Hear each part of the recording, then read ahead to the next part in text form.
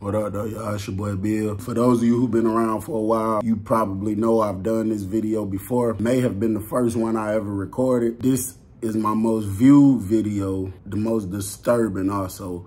But I wasn't able to monetize it because I didn't really understand the rules to this platform and I was using a lot of profanity and stuff and just a lot of stuff that I wanted to cut out of it. So I just decided to do it again. It's gonna be a much clean version now and I'm gonna delete the old one. A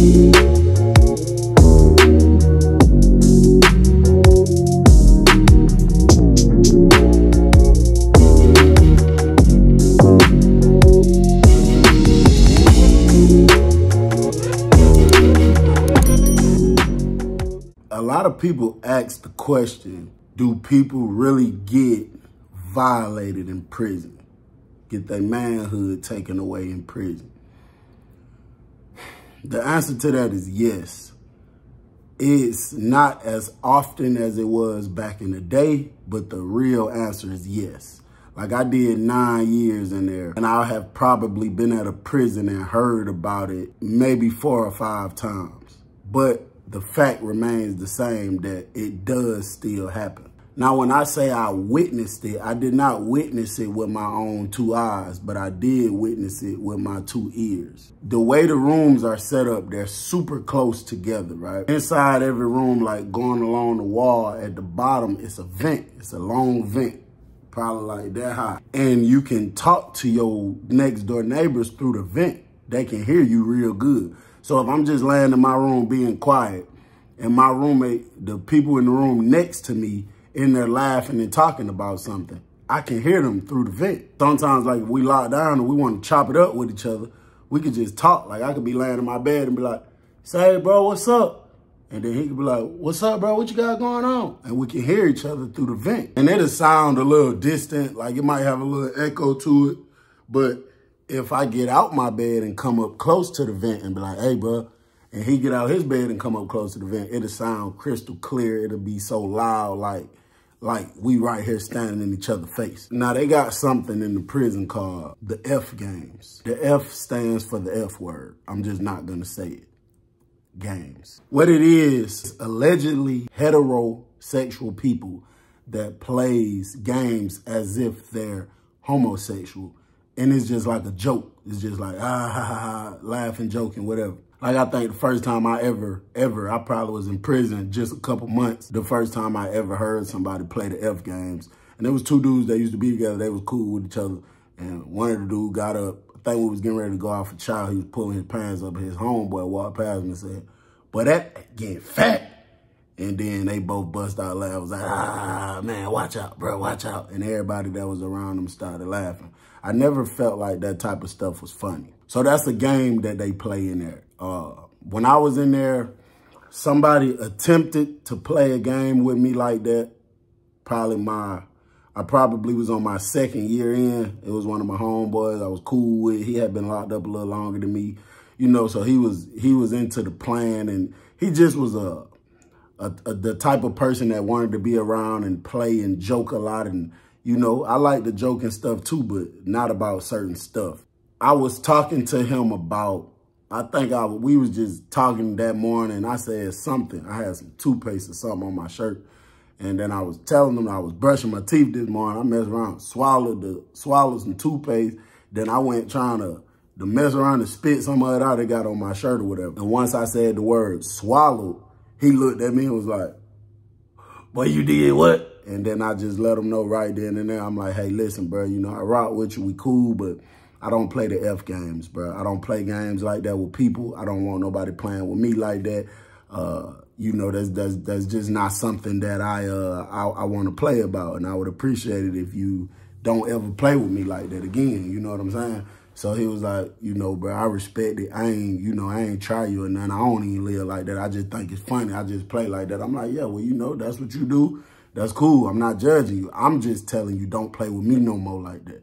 So he was like, all right, cool. So I nip stuff like that in the bud off the dribble. Like, I feel like stuff like that, if you feel the way I feel about it, you don't even give it.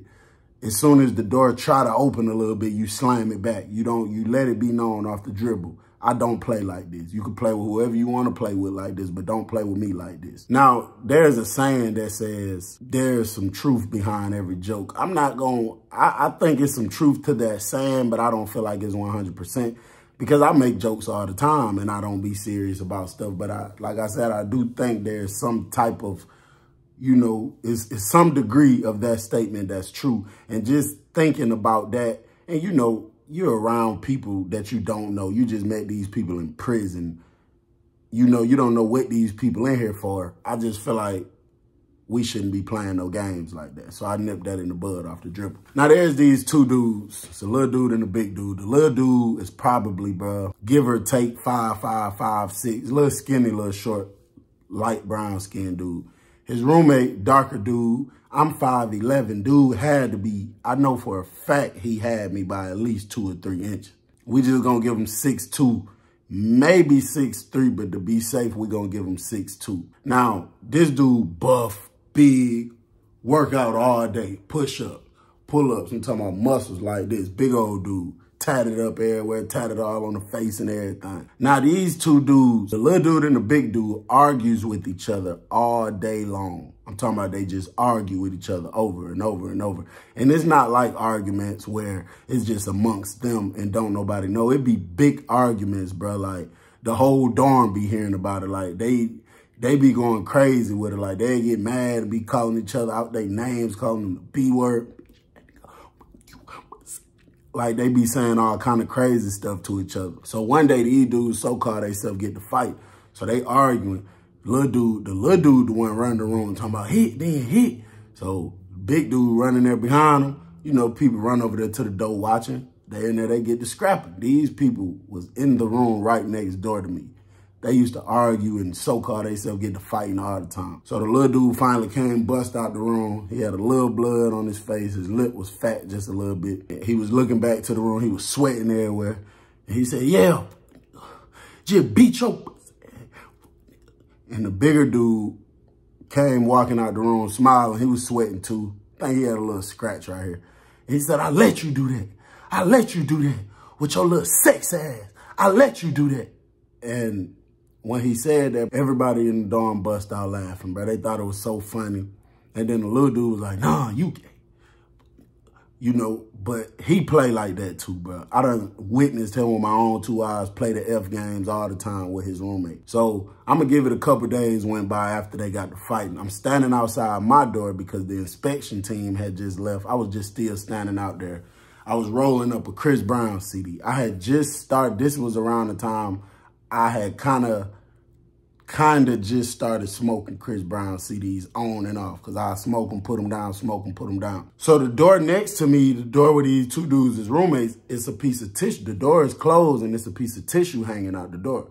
The tissue represents I'm doing something, I need my privacy, do not enter. That's what tissue hanging out the door means. I'm standing outside my door rolling up the Chris Brown CD.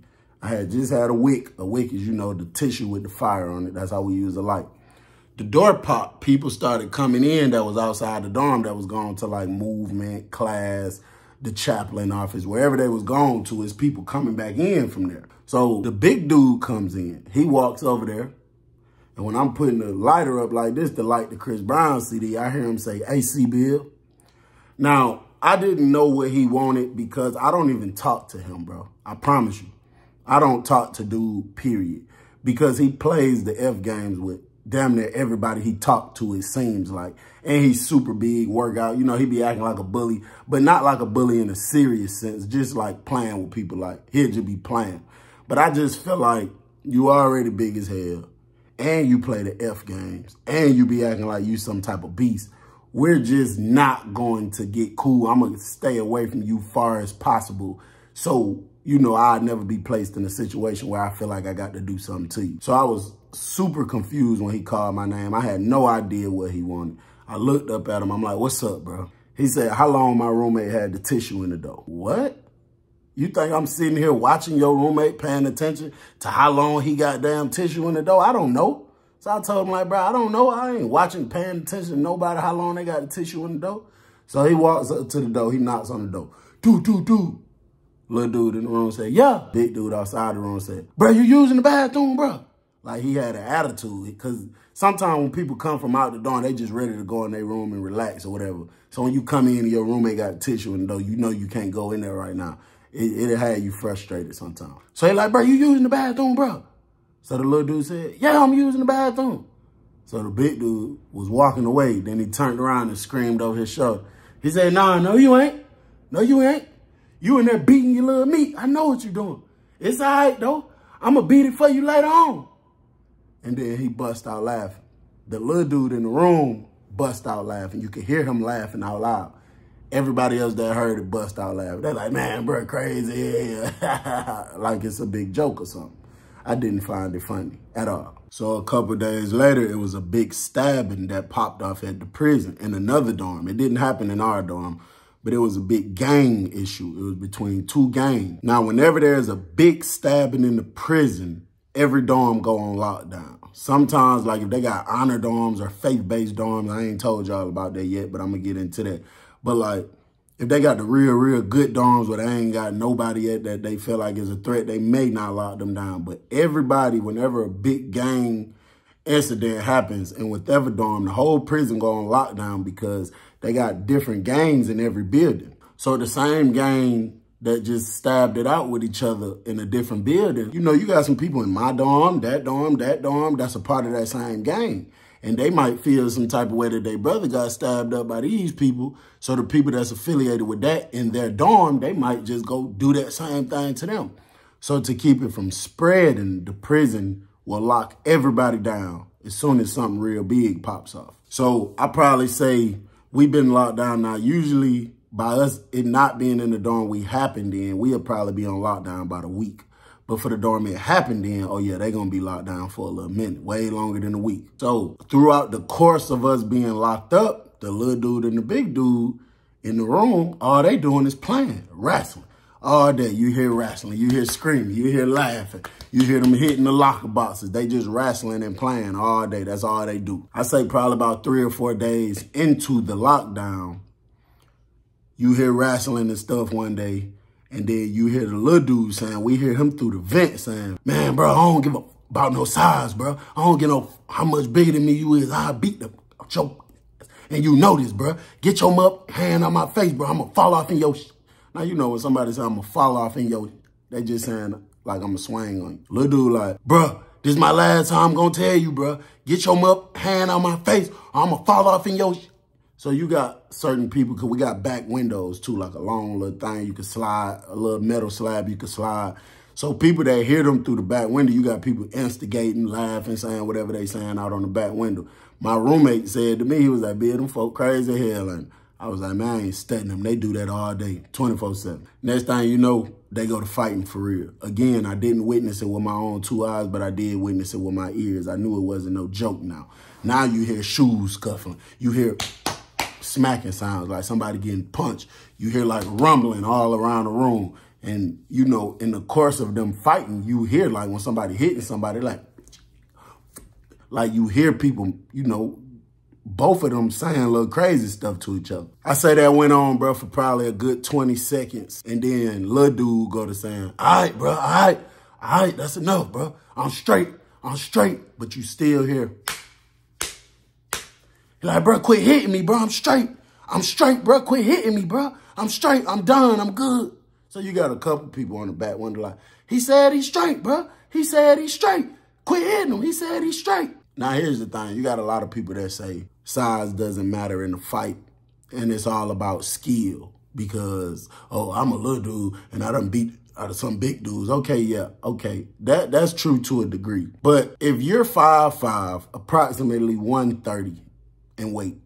And you're the most skilled fighter in the world. And we're in this little small ass room. And I'm 6'2", 6'3", every bit about 200, maybe 210 pounds. And we get to fighting.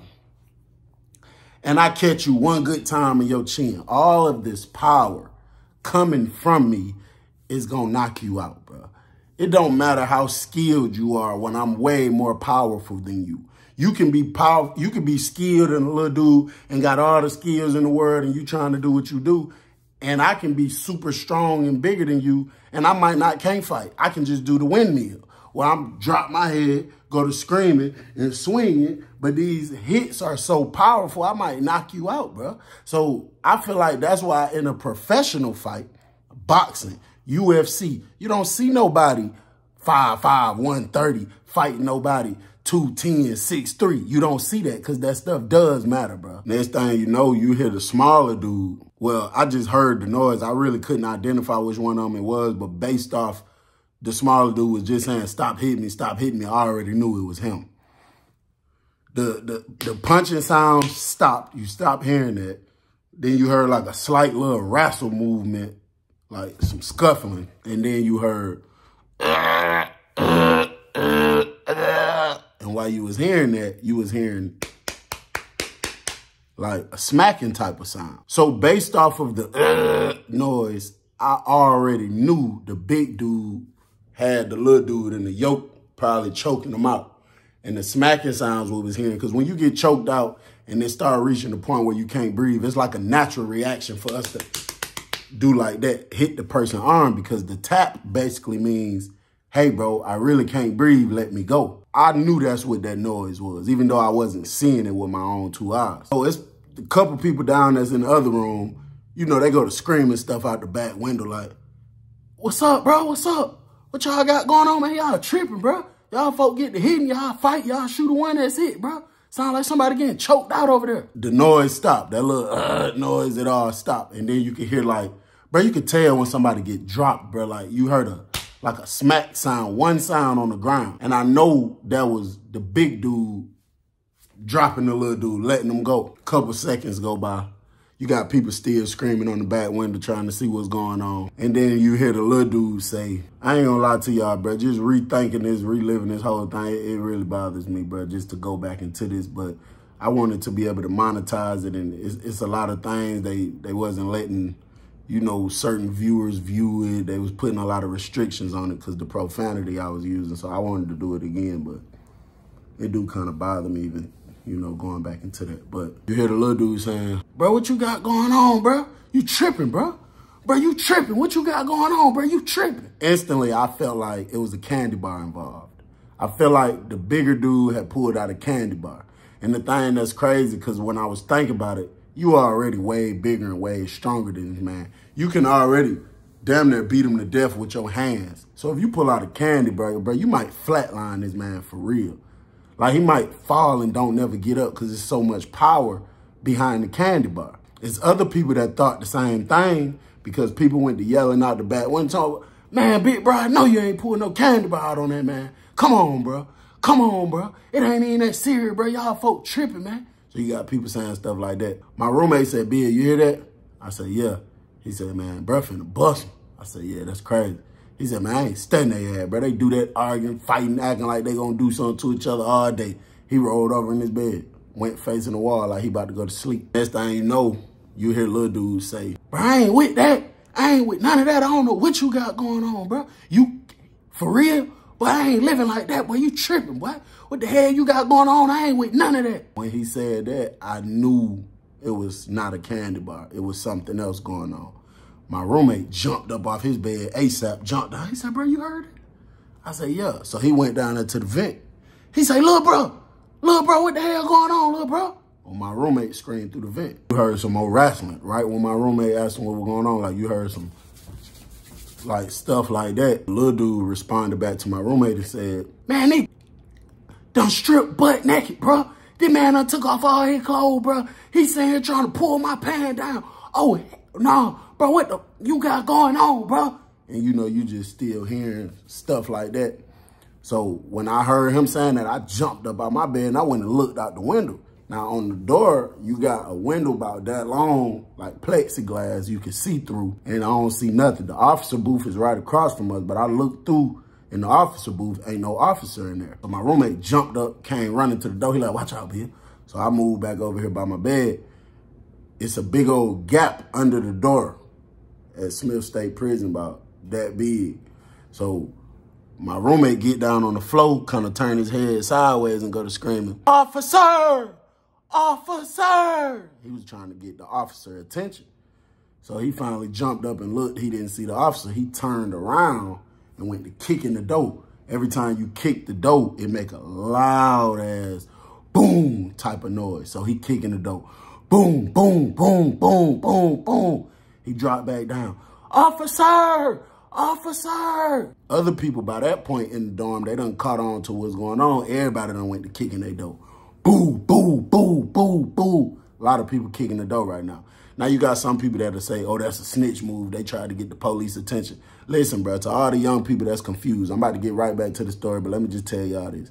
All the young people that's confused and trying to keep up with this street code and feel like, oh, this is a snitch, that's a snitch. Listen to me, brother. If me and you go participate in something illegal and you get caught and I don't, and you tell on me, yeah, you snitched because you ain't had no business telling on me if you was out here in this in this field doing whatever it was you was doing. But if you're in a room and somebody that, you know, you ain't even got to be the best with them in the world. You ain't even got to be that best cool with him. You know, little dude was all right with me. I ain't rock with him that much, but he was all right.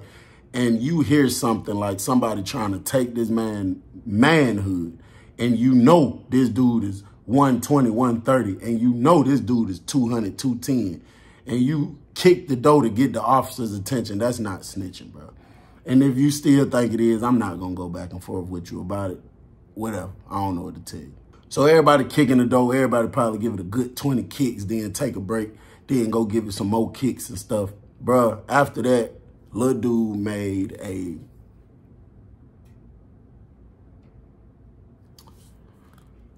little dude made a like a like a heart wrenching scream, bro. I'm talking about he screamed in a way that I feel like no grown man should ever scream, bro. It was damn near like a howl. Like it was a loud scream and it drug on for a long time, bro. So my roommate runs back over there to the vent, uh, to the window. He get off the floor. He run over there to the window and he just screaming, talking crazy to the bigger dude out the window. He telling him like, but that's on everything. You don't leave that man alone. We come off lockdown. We're going to pull you out. We're going to bust you with the candy bar. We ain't with no like that. We play and kick it. But, bro, we ain't with all that. So everybody else pretty much started doing the same thing. Everybody that's on the back window, they putting it on their set, on their gang. If big dude don't leave little dude alone, they going to bust him when we come off lockdown. Now, it's like this, bro. Little dude ain't had no bad energy with nobody in there, bro. And it's like we was all in the dorm together for so long to the point it damn near almost was like a family, bro. Like almost. You know, you had your little squabbles and your little beefs and stuff, but when you be around people for so long, you just kind of get used to them. You know what I'm saying? Now, if little dude was a bad energy, evil, uh, thinking he's so slick type person that ain't nobody care about, nobody probably wouldn't even been doing all that, bro. But he was all right dude. So, you know, everybody screaming, talking crazy, the big dude, putting it on their mama. They gonna bust him with the candy bar, all kind of stuff. That same heart-wrenching howl, scream, whatever you want to call it, that I told you I had heard not too long ago, we heard it again and again and again and again and again. And then it went from those screams to like crying, bro. You could hear little dude over there crying, but it was in, it like it had a rhythm to it. Like he was crying, but certain times he'd cry louder or whatever. Like it was like, like if somebody crying, it's like,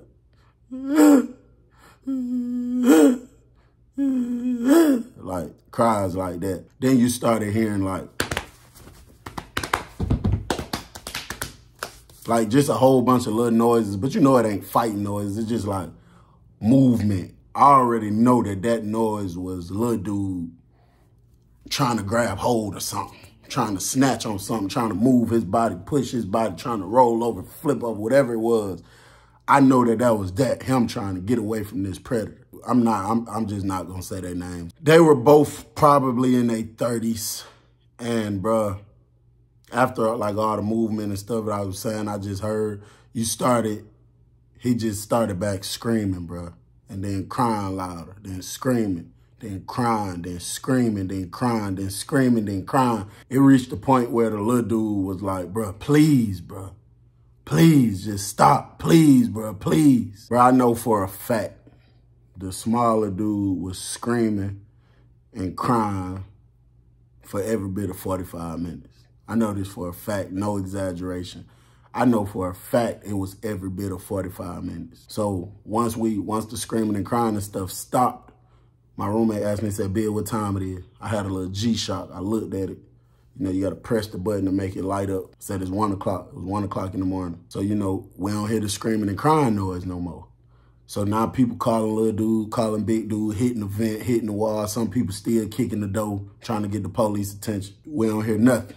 Big dude ain't been making noise the whole time. So I'm lying up there. My roommate, he's still calling little dude, other people making little noise and stuff. I started getting sleepy, bro. I laid down in my bed and, you know, I started kind of dozing off a little bit. But I wasn't all the way there. My roommate said, Bill, what time it is? I look at the watch, it's 3 o'clock in the morning. I done dozed off for real. I ain't even know it. 3 o'clock in the morning, bro. The officer usually don't bring the breakfast trays in the morning till like 4, 4.45. But right when I told him it was three o'clock, we heard the door pop. The front door out there, the door where the officer at, we heard the door pop, like it popped open loud. Me and my roommate both jump up, run over to the door. But the window's so small, only one person really can see out of it at a time. So my roommate ran up to the door. He looking at the window. I ran, jumped on top of the toilet, held the top of the door at the top and pulled my body over a little bit. My feet still on the toilet. So now we can look out and see outside the room. So we seen the officer right there. All right, it's two sides of the door. It's a booth. You got this door, that's to let you outside. You'll actually step on the sidewalk. You got this middle area, and then you got this door. This is to actually let you in the dorm to where we at. She was in this middle area. We believe she was getting ready to go back out the door. Me and my roommate both started screaming, Officer! officer. My roommate turned around and started kicking the door real hard. Boo, boo, boo, boo. Other people that was still up or that was just waking up, they started doing the same thing, kicking the door real hard. Boo, boo, boo, boo. They started screaming, officer, officer. She turned around and looked, she came in the door. She like, what? So everybody screaming at the same time. Me and my roommate like, come here, come here. But everybody screaming. So she was like, I can't understand all y'all at the same time. So everybody started screaming my room number you know, the people that's up there, they getting it mixed up. But if she get over here, that's cool too. So everybody go to scream my room number. So she look over to my room. So me and my bunkmate, we go to scream, come here, come here. So the lady came over there to the room. She stood in front of the door. My roommate, he had got on the ground and started screaming. So when he seen her coming, he jumped up. And she came and she was like, what? What's up? What's up? Y'all all right? And my roommate, she came over there. She like, what's up? What's up? And my roommate put his like mouth up close on the door and she moved her ear kind of to the top of the, like to this part of the door. And my roommate said, man, I think little dude in that room right next door to us on this side, I think he just got violated. I think he just got violated in the worst way last night. Man, you need to check on that man. We've been calling his name. He ain't saying nothing. You need to check on that man. I ain't gonna lie, bro. Me and my bunkmate, we thought he was dead. We thought dude violated him and, and, choked him out to death or something. So when he told her that the girl walked over to the room, she walked out of our sight. We couldn't see her no more. She went just from where we could see, we couldn't see her no more. But I guess she walked up to the door, bro. It was quiet as a mouse. Wasn't nobody saying nothing. And all you heard was the girl said, oh my God. And she turned around and snatched the radio off her shirt and she took off running to the door, screaming into the radio. I couldn't even make out what she was saying. She went running to the door, screaming into the radio. I say about another minute and a half went by. Police ran down there deep. It's probably about eight, nine of them. The lieutenant in the front, he run up to the door. He get to the door. He like, what's up, man? What going on here? What y'all got going on? What y'all got going on? So the big dude finally say something. I hear him say, I ain't got going on. So the lieutenant was like, where all that blood come from, man? How that blood get on that sheet? Where, where that blood come from on that sheet? What you got going on? So he telling dude, he like, man, step over a little bit. Step over. So I guess big dude not listening. So he like, bro, I ain't finna mother tell you again. Step over, bro. So I guess he's still not listening. So the lieutenant looked back to the officer. He said, hey, go get a camera and get ready to unlock this door. When I tell you to unlock this door, go and unlock it. And he snatched the taser off his belt. He had a taser on his belt. He told her to go get the camera because whenever they use force, they supposed to record it. Supposed to. So he was like, hey, man, I ain't to tell you. I ain't to tell you again to step over. And while he was saying that, he stopped, like in the mid-conversation. He was like, I ain't to tell you again to step over. And then he stopped. He said, man, what the He said, man, turn around right now. Get on your knees. Put your hands behind your head, bro. Turn around right now. Get on your knees. Put your hands behind your head. Then he stopped saying that. And I guess he went to looking again. And he said, when he was saying, turn around, put your hands behind your head. He stopped and he said, what the, man, that man in there tied up. He said, man, get on your knees right now. Put your hand on your head. Turn around, man. Your back need to be facing me right now. So the officer, the girl came back with the camera. He asked her, he said, is it on? She said, yeah. She stood in front of him like this, like holding the camera, recording him. He was standing in front of it. He said, hello, my name is Lieutenant such and such. I'm at such and such prison at such and such time. I'm about to have to use excessive force on an inmate that just did something else. We believe he violated another inmate. Uh, he didn't say the word violated. He said the R word.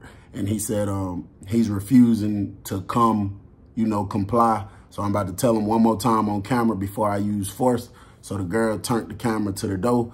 The lieutenant unlocked the little flap. He lifted the flap up. He said, hey, man, come over here, put your hands in the flap so I can handcuff you, then get down on your knees. Big dude screamed, Q. So the lieutenant looked back at the camera. He said, okay, I got him on camera refusing. He said, now I'm about to use force. He held up the taser so they could see. One of the officers unlocked the door. She snatched the door open. All you heard was zzz, like the little noise. It's like a louder noise than that. It's like a damn near almost a firecracker type of noise, but you could hear the little electric in it too. And then you heard the big dude scream, ah, and then you just heard his body smack against the concrete. So all the officers ran in the room. You know, they handcuffed the big dude. You seen two of the officers walking the big dude out, bro. He came out the room butt naked, not on a pair of socks, not on nothing. And it just made me wonder, like, damn, bro. Now, you know what I'm saying? It's damn near four you know what I'm saying? Like, what was you doing in there all night still naked, bro? You know what I'm saying? So you got two officers taking him out to the door. And then you hear the lieutenant. We can't see him no more, but we hear him loud and clear through the vent. The lieutenant said, give me some scissors. I need a pair of scissors. So I guess one of the officers gave him some scissors. And then he started saying, what's up? What's up, uh, inmate? He started calling little dude real name. He like, you all right? You all right, bro? Are you all right? Are you okay? What happened? What happened? Are you okay? I heard one of the girls say, throw some water on him. So I'm assuming he was unconscious or something. You hear the sink run in their room real quick. And then, you know, I guess they threw the water on him. And then you hear the lieutenant kept saying again, what happened, man? What happened? You got to talk to me. You got to tell me something. You got to talk to me so I can help you. I need to know how to help you. And you heard little dude say, bro, he wasn't trying to talk loud, but through the vent, we was so close. Like I said, you could hear loud and clear, bro. He said, man, he, me. He said he was too big, bro. I couldn't fight him off. He kept hitting me. He knocked me out.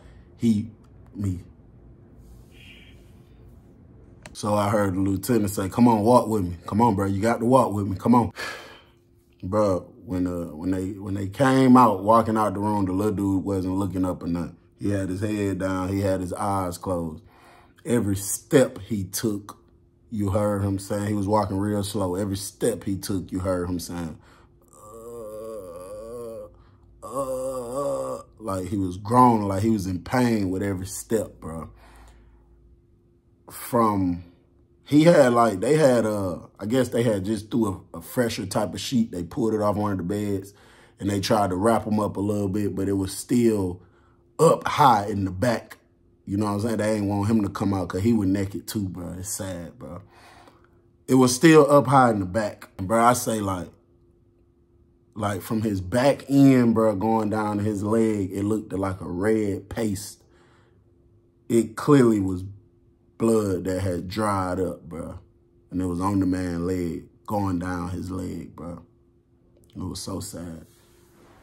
You know, people went to screaming stuff out the window, telling little bro, keep his head up. we going to whack big big dude when we see him again. He wasn't saying nothing, bro. He was just walking like, uh, uh, uh. And, um, you know, the lieutenant took him out. Then the officers, the remaining officers, they put on gloves and they went in the room and started bringing stuff out.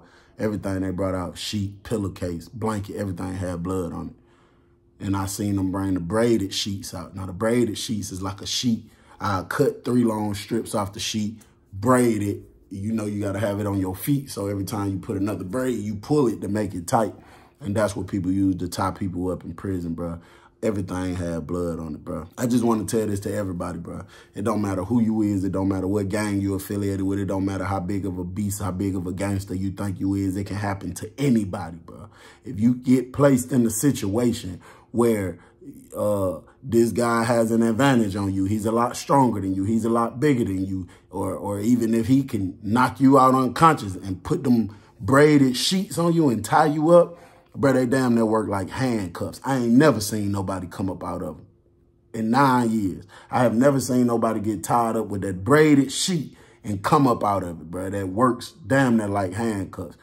This is why I stress to y'all, bro, stay out the streets make better decisions on a daily basis. Don't get yourself placed in a situation. Don't have the mindset to say, oh, I'm going to just go do my time and come back out. How do you know you're going to come back out? Or how do you know you're going to come back out the same? What if you go in there with six months and get your manhood took and I mess you up mentally for the rest of your life? We got to make better decisions, bro. I did an update to this video while back. I'm going to put the link to the update in this new video. It's your boy Bill. I'm gone. Música